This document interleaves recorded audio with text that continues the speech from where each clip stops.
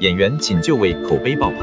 陈凯歌导戏获赞，为何作品却饱受争议？在大部分的网友评价中。陈凯歌导演的片段《白昼流星》无疑是最受争议的。然后陈凯歌导演就来了一出现场导戏，他带着两位演员一步步理清了角色人物之间的关系，以及目前所处剧情下角色应该有的情绪后，徐娇和胡先煦的再次表演明显进步了很多。而这一次在演员请就位中，明道和陈若轩在表演完《破冰行动》片段后，陈凯歌并没有一来就评价到底谁演得更好。而是再一次梳理起了人物关系来。说白了，一部作品的精髓都在导演上，因为只有导演才是最了解整部作品的人，也是最知道想要呈现出什么样效果的人。